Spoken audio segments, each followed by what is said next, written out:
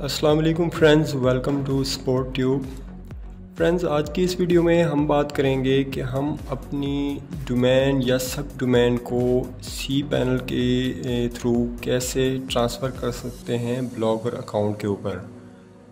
अगर आपके पास कोई सी पैनल है और ऑलरेडी आपने कोई डोमेन परचेज़ की हुई है और आप उसके ऊपर वर्क भी कर रहे हैं और वर्ड के ऊपर अगर आपने उसकी वेबसाइट बनाई हुई है और आप चाहते हैं कि उस वेबसाइट को आप ब्लॉगर के ऊपर लेके जाएँ या आप उसकी एक सब डोमेन बना के ब्लॉगर के ऊपर शिफ्ट करें तो आज हमारा जो ये टॉपिक है वो यही है कि हम जो है कैसे अपनी सब डोमेन या मेन डोमेन को सी पैनल के थ्रू कनेक्ट कर सकते हैं अपने ब्लॉगर अकाउंट के साथ। तो आप यहाँ पे देख सकते हैं मेरा यहाँ पे एक ब्लॉग है, जिसकी वेबसाइट को मैंने ऑलरेडी ट्रांसफ़र किया हुआ है सी पैनल के थ्रू वर्ड के ऊपर। तो अब मैं चाहता हूँ कि मैं इसी ब्लॉग को, क्योंकि इसके ऊपर ऑलरेडी जो है पोस्टें हैं, और मैं चाहता हूँ कि ये सारी पोस्ट हमारी जो हैं ज़ाया ना हो। तो मैं एक सब डोमेन बना के इसी ब्लॉग के ऊपर, इसी के साथ अटैच करके ये सारी पोस्टें दोबारा वर्क में लेके आना चाहता हूँ। तो ये कैसे होगा? सबसे पहले तो आपने अपना सी पैनल जो है वो ओपन कर लेना है। उसके बाद आपने चले जाना है सब डोमेन के अंदर। ठीक है, आप यहाँ पे देख सकते हैं हमारा जो सी पैनल है यहाँ पे खुला हुआ है और इसके थोड़ा सा नीचे आप जाएँगे तो यहाँ पे आप देख सकते हैं कि हमारी जो दो डोमेन्स हैं, एक डोमेन्स ऑलरेडी कनेक्टेड है और नीचे इसकी दो सब डोमेन भी ऑलरेडी इसके साथ लिंक्ड हैं। तो अब हमने एक नई सब डोमेन बनानी है और उसको लिंक करना है इस ब्लॉग के साथ। तो सबसे पहले तो हम जो है अपनी सब डोमेन क्रिएट कर लेते हैं। अब यहाँ पे हमने वो सब डोमेन क्रिएट करनी है जिससे हम जो है अपना ब्लॉग लिंक करेंगे। आप देख सकते हैं यहाँ पे ऑलरेडी दो सब डोमेन हमारी यहाँ पे बनी हुई हैं। तो यहाँ पे मैं जो है वो सब डोमेन बना लेता हूँ जिसको हमने लिंक करना है। इस वेबसाइट के साथ तो यहाँ पे आपने क्रिएट के ऊपर क्लिक करना है।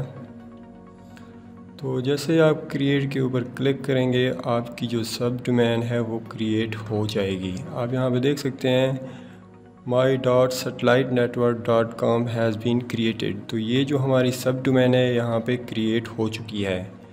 तो अब यहाँ से हम जाएँगे बैक अब बैक जाने के बाद हम जाएँगे इसके डीएनएस रिकॉर्ड के अंदर। तो आप यहाँ पे देख सकते हैं D N S zone editor लिखा हुआ है, आपने इसके ऊपर क्लिक करना है। तो जैसे ही आप उसके ऊपर क्लिक करेंगे, आपको यहाँ पे उनकी मेन डोमेन्स मिल जाएँगी। तो मेन डोमेन्स मेरी जो हैं, इसी पैनल के अंदर दो हैं जो ऑलरेडी यहाँ पे शो हो रही हैं। तो मैंने यहाँ पे जो है सेटेलाइट नेटवर्क डॉट कॉम के अंदर जो है, सब डोमेन क्रिएट की है। तो मैं इसके ऊपर यहाँ पे एक मैनेज का ऑप्शन आपको मिलेगा, आपने इसके ऊपर क्लिक करना है। तो मैनेज के ऑप्शन में जैसे ही आप आएँगे, आप यहाँ पे देख सकते हैं ऑलरेडी हमारी जो मेन जो है डोमेन है वो यहाँ पे वर्किंग है और थोड़ा सा अगर हम इसे नीचे स्क्रॉल डाउन करेंगे तो आप यहाँ पे देख सकते हैं कि यहाँ पे my dot satellite network dot com के नाम से भी एक जो है यहाँ पे सब डोमेन बनी हुई है। तो यहाँ से इसको जो है हम करेंगे डिलीट यहाँ से इसको कंटिन्यू कर देंगे। ये जो है, यहाँ से इसको हमने कर दिया डिलीट अब जो है, हम दोबारा से नीचे जाएँगे और यहाँ पे W W dot my satellite network इसको भी यहाँ से हम कर देंगे डिलीट तो इसके बाद हम दोबारा जो है स्क्रॉल डाउन करके नीचे जाएँगे और माई सेटेलाइट डॉट कॉम के नाम से जो है जो एक सब डोमेन है यहाँ पे, इसको भी हमने यहाँ से कर देना है डिलीट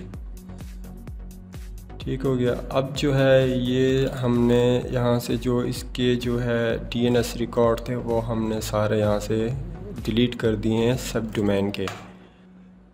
ओके तो ये डीएनएस रिकॉर्ड डिलीट करने के बाद अब हम दोबारा जाएँगे ब्लॉगर अकाउंट में और ब्लॉगर अकाउंट की सेटिंग में चले जाएँगे। ब्लॉगर अकाउंट की सेटिंग के अंदर थोड़ा सा आप नीचे स्क्रॉल डाउन करेंगे तो आपको कस्टम डोमेन का एक ऑप्शन मिल जाएगा। आपने उसके ऊपर क्लिक करना है और यहाँ पे जो है आपने अपनी जो सब डोमेन है, उसे ऐड कर देना है। सब डोमेन ऐड करने के बाद नीचे आपको सेव चेंजेस का ऑप्शन मिलेगा तो आपने यहाँ पे सेव के ऊपर क्लिक कर देना है। तो जैसे ही आप सेव के ऊपर क्लिक करेंगे, यहाँ पे आपको सी नेम्स मिलेंगे, इनको आपने ऐड करना है इस सी पैनल के डीएनएस रिकॉर्ड के अंदर। तो सबसे पहले हम चलते हैं ऐड रिकॉर्ड के अंदर और यहाँ पे नीचे स्क्रॉल डाउन करेंगे तो यहाँ पे आपको सी नेम रिकॉर्ड का ऑप्शन मिल जाएगा। इसके ऊपर आपने क्लिक करना है।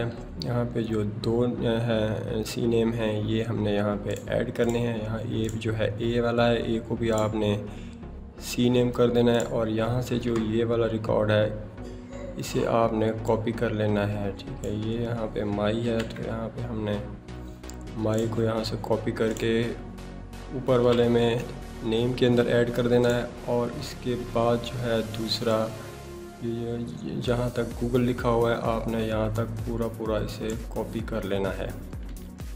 तो इसको आपने कॉपी करने के बाद जो है यहाँ पे रिकॉर्ड के अंदर ऐड कर देना है। इसके बाद आपने सेव चेंजेस के ऊपर क्लिक कर देना है। तो इस तरह से आप जो है तो ये आपने जो है यहाँ पे एक जो है सी नेम जो है ऐड कर दिया है जो है दूसरा ऐड करेंगे। तो दूसरा भी सेम टू सेम ही है। आपने इसका जो पहला हिस्सा है, इसे यहाँ से कॉपी करना है। इसको यहाँ से कॉपी करने के बाद आपने ऐड करना है नेम के अंदर। और जो इसका दूसरा हिस्सा है, उसे आपने यहाँ से पूरा पूरा कॉपी कर लेना है डॉट कॉम तक। तो इसको भी आपने जो है ऐड कर देना है इसके रिकॉर्ड के अंदर। ठीक है, अब इसको सेव चेंजेस के ऊपर क्लिक कर देना है। तो इस तरह से जो है, आप देख सकते हैं कि हमने दोनों जो है सी नेम रिकॉर्ड जो है डोमेन सब डोमेन के हमने इसके ऊपर जो है, ऐड कर दिए अब इसके बाद जो है, अब इसे हम करेंगे सेव। तो जैसे ही हम इसे सेव करेंगे तो हमारा जो सी नेम है, आप देख सकते हैं यहाँ पे custom domain my satellite network dot com के नाम से सेव हो चुकी है। तो इस तरह से जो है आप अपनी सब डोमेन को जो है सी पैनल से यहाँ पे ट्रांसफ़र कर सकते हैं और अपने ब्लॉगर अकाउंट के साथ लिंक कर सकते हैं। उम्मीद है वीडियो आपको अच्छी लगी होगी। अगर वीडियो अच्छी लगी है तो लाइक कर दें और अपने दोस्तों के साथ शेयर करें। मिलते हैं नेक्स्ट वीडियो में। तब तक के लिए अल्लाह हाफ़